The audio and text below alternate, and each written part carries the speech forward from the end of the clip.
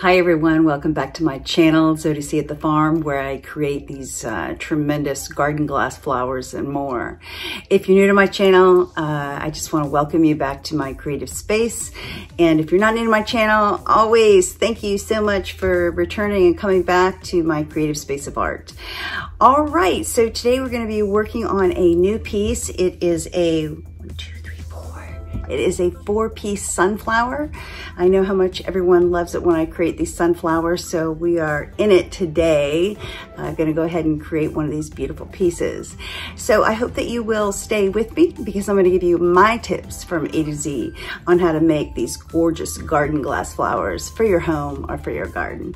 All right, so now let's move on to the list of items that you're gonna need to complete this project. Stay with me. Okay, folks, let's go over quickly a list of items that you're gonna need to complete this project. And always remember that I listed in the description box below, so there's no need to take notes. Everything is already provided uh, to you in the description box. All right, so let's go ahead and uh, let's talk about all of the different things that you're gonna need to complete this project. And the first thing that you're gonna need is all the creativity you can bring to the table. That's very important. You know, when you're out looking for different flower petals that you wanna make, just always make sure that you have like a vision of what it is that you would like to create. That's really so important is to have that vision of creativity. You're also going to need to have your protective eyewear as well as safety gloves. You're going to need uh, to have a black magic marker to mark your plates. You're gonna need some rubber washers that you can obtain from Amazon or your local hardware store.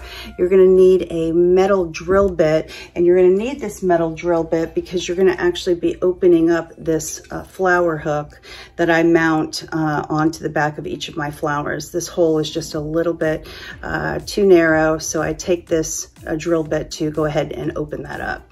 You're also gonna need to have a flower hook or any kind of hook. Okay, it doesn't have to be a flower hook. I just, because I'm working creatively on these glass flowers, I love the the uh, flower motif uh, to finish off the piece. You're gonna need the toggle bolt and that toggle bolt is 3 16ths by uh, 3 inches. Okay, that's the size that I'm use, using based on the weight of all of my pieces. Okay, so this really does uh, help uh, to secure the plates uh, very securely and safely, which is really important, okay? You're gonna need to have your diamond tip drill bits. You can get these from Amazon or your local hardware store. You're also going to need, uh, if you're mounting the flower outside, this is a chair cover that I use when working with uh, the mounting hook. I've got two screwdrivers that I use. I use a cordless screwdriver and I have a standard screwdriver. But one will be fine, I just have two. You're gonna need some Goo Gone or some uh, Windex, okay? When you're gonna wipe everything down, make sure there's no grease or grime uh, on your pieces. You're gonna need stabilizers uh, when working uh, with the glass when you're cutting. You're gonna need some water and that water will help to um, soften the glass as we're cutting with the drill. We need a Ryobi cordless drill or a drill press. My drill press that I use is a 12 inch Ryobi. Okay, so I think that's pretty much everything. If I've left anything out, as always, it'll be listed in the description box below. All right, so now we're gonna move on to the cutting stage of this particular video. All right, stay with me. Okay, folks, I wanna go ahead and show you the piece that we're, we're gonna be working on today. Now, this is going to be, as I indicated in the intro, a four-piece sunflower. Okay, so that's what it looks like. Uh, with everything unattached. Really a beautiful piece. It has a lot of dimension to it. And uh, just to show you the different pieces. So this is a sunflower bowl. It's a bird bath actually, okay, that I've obtained. And this is uh, 18 inches wide. So it's a very large uh, piece of glass, okay? And it is an absolutely magnificent, let me turn it around, magnificent piece. Next piece is this uh, beautiful sunflower piece that I got from the marketplace, and it is also uh, a sunflower. Okay, so that will be the second piece. This flower petal that I love so much put that right there in the center. And then I've got this metal orb that I got from Pier 1 that will uh, finish off the complete flower. So that's one, two, three, four pieces. Okay, I'm go ahead now and start the cutting phase. All right, see you soon. Here we are at my drill press station and I've got everything set up here. I've got my water. I've got both of my plates that I'm going to be cutting and both of them, uh, I've already marked the center of these pieces. All right, so I've got that one and I've got this one. Okay, both of them are marked.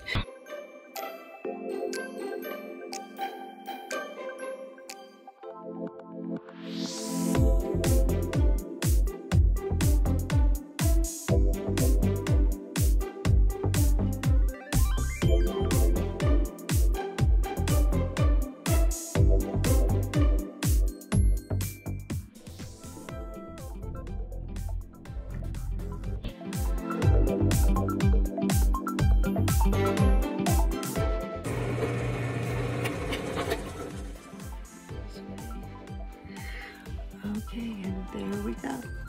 That's that's two plates that we've cut. Let's move on to the third cutting with the uh, hand drill. See you.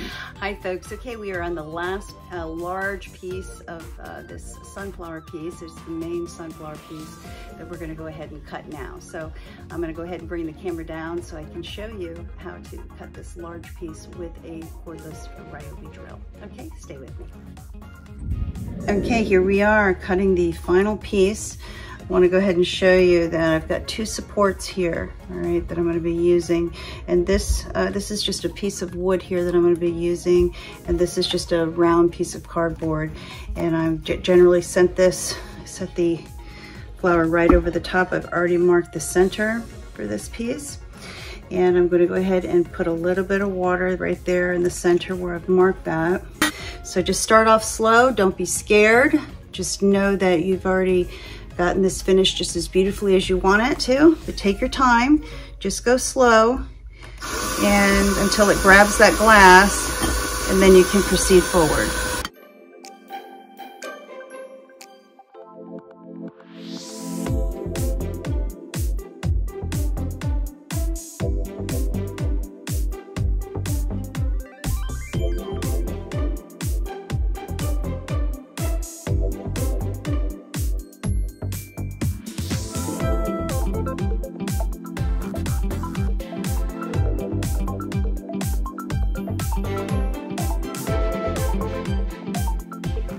You can see the hole perfectly done. Okay, so now that we are finished with the cutting of this particular piece, let's go ahead and move on to assembly. Okay, see. Hi folks, okay, we are at the assembly stage of this particular video. So I'm gonna go ahead and bring that camera down so you can see how I assemble these beautiful pieces to bring it to a blooming sunflower. Okay, stay with me. Here we are at assembly already. I can't even believe it. All right, I've got everything set up here to my right that I'm going to be using. Let me adjust that just a little bit. Okay. And the first thing I'm gonna do is separate my plates out and I'm gonna start with the main supporting plate. I'm gonna go ahead and turn that over. First thing that I'm gonna do is take my. And I'm gonna go ahead and put a washer directly behind it. That's a rubber washer. Take my toggle bolt and stick that straight through just like that. Then I'm gonna take my my uh, sunflower piece and I'm gonna go ahead and put that straight through and then turn this over right on its side just like that. And then take another rubber washer and place that right there, okay, just like that. Then I'm gonna go ahead and reach for my other pieces and I'm gonna take this gorgeous sunflower that I drilled a hole in. I'm gonna set that right there just like that, okay? And then take a another washer and place that washer right there. Then I've got my next piece, which is our smaller flower petal. And I'm gonna take another washer and stick that right there in the center. Then I've got my toggle bolt that I'm gonna go ahead and get started. I'm gonna reach to the back of the flower and grab that uh, flower hook and I'm gonna put my finger over the back of that bolt just so I can keep it still. All right, then I'm gonna go ahead and screw this down, not all the way down, just about midway. And then I'm gonna take my metal orb And I'm gonna go ahead and stick that in just like that until I hear it click. And it did click. I did hear the clicking. Wait a minute. Got this here on the side. So this is a good thing for me to run into while I'm doing this with you. Is that's why it's important not to uh, screw that all the way down because you do want it to go in. Okay.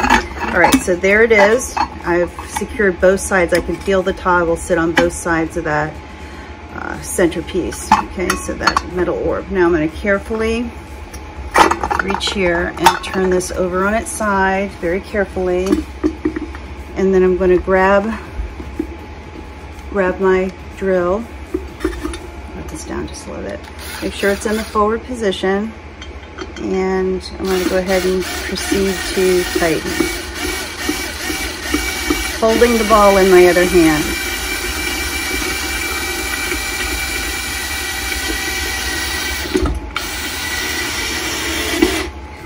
and I can, and it's, it's not a problem to let that slip out of your hand. Then I'm gonna follow up with my other